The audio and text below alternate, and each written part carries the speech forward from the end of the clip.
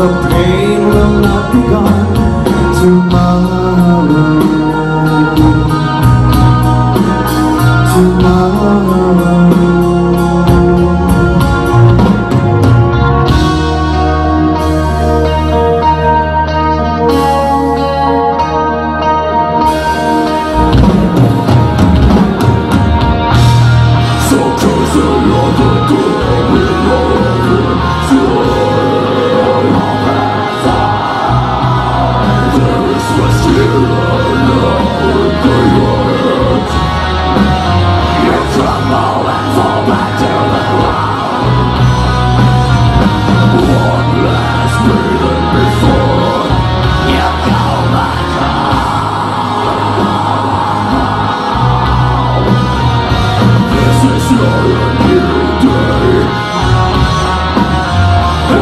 Alleluia,